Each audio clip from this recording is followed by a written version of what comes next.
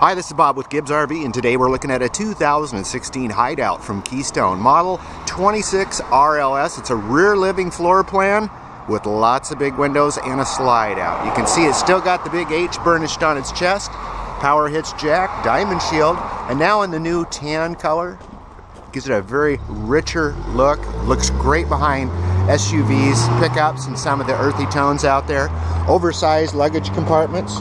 Keep all your gear high and dry for the next camping season, and they lock nice and secure. Stabilizer jacks in all four corners, and this one is a double entry door model. It's got the power awning, got an LED light strip on the back side, spot for the TV. There's one inside, you can bring it right out here, plugs in, you can watch the Super Bowl under your awning.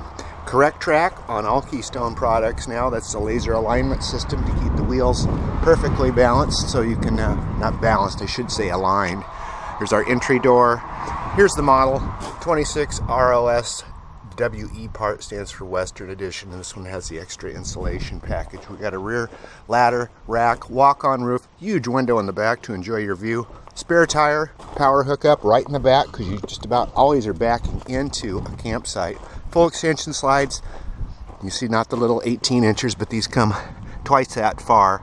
And let's take a look at the interior probably one of the fastest growing brands here in the Pacific Northwest is the Hideout. Out of the door, got a hidden strut down here so you don't have to use a fastener. Rear living is going to have the two lounge chairs in the back.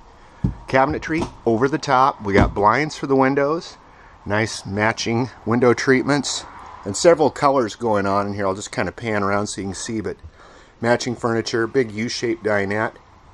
And again, lots and lots of windows. This makes into a bed, so does the sofa. The table can be taken outside or just laid down. Those legs actually compress so you can use it as a bed and not just a table. Our galley area here, we got a stainless steel stove, stainless on the microwave.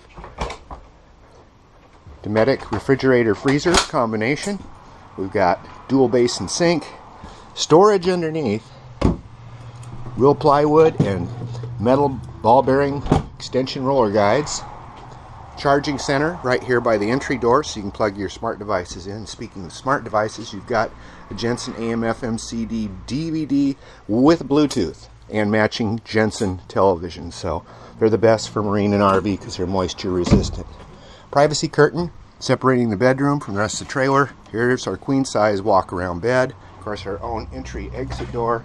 We got mirrored wardrobes on both sides, overhead cabinets, oh, and a pillow top mattress. Also comes with a additional wardrobe.